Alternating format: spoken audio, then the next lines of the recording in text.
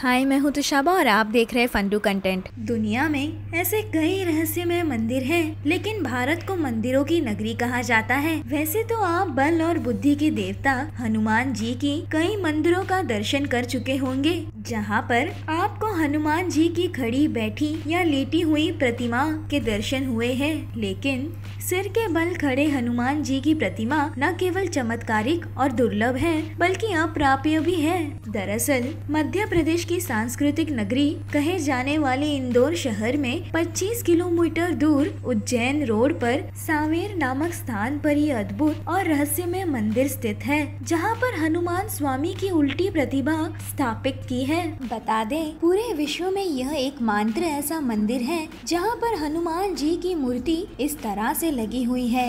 इस मंदिर को पाताल विजय हनुमान मंदिर भी कहा जाता है। यहाँ प्रचलित मान्यता के अनुसार इस मंदिर का कथा रामायण काल से जुड़ी है। बता दें कि रामायण के एक प्रसंग अनुसार जब भगवान श्री राम और रावण का युद्ध हो रहा था, तब रावण के मित्र पाताल राज अहिरावन ने एक चाल चली। उसने वेश बदल कर समय को राम के सेना में शामिल कर लिया। एक रात्रि जब सभी सो रहे थे, तब अहिरावन ने अपनी मायावी शक्ति से श्री राम और लक्ष्मण को मूर्छित करके उनका अपहरण कर लिया था और वह उन्हें पाताल लोक ले गया था। वानर सेना में इस बात का पता चलने पर हड़कम मच गया और तब एक कबूतर कबूतरी के वार्तालाप से हनुमान जी को पता लगा कि भगवान राम और लक्ष्मण जी को अहिरावन पाताल ले गया है, जहाँ उनकी बलि देने की तैयारी चल रही है। लेकिन तभी हनुमान जी उन दोनों को खोज करने के लिए पाताल लोग पहुँच जाते हैं। भगवान राम और लक्ष्मण साहिद अहिरावन से युद्ध कर उसका नाश कर देते हैं। और इस तरह से वो न सिर्फ़ श्री राम और लक्ष्मण के प्राणों की रक्षा करते हैं बल्कि उन्हें पाताल से सुरक्षित बाहर भी निकाल कर लेते हैं। दरअसल जब हनुमान जी पाताल लोग जा रहे थे तब उस समय हनुमान जी के पाँव आकाश की ओर और, और सीधी धरती की ओर था।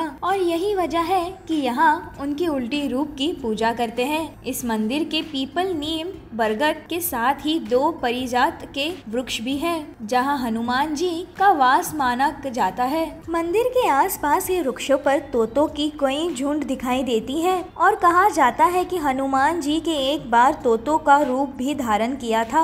देश भर में हनुमान जी की आस्था रखने वाले लोग इस मंदिर में उनके दर्शन के लिए आते हैं और यहाँ पर उनके सभी भक्तों का हर एक मुराद पूरी होती है। इसी के साथ मैं तुशाबा आप लोगों से अलविदा लेती हूँ। आगे ऐसे ही अपडेट्स के लिए सब्सक्राइब करिए फंडू कंटेंट को।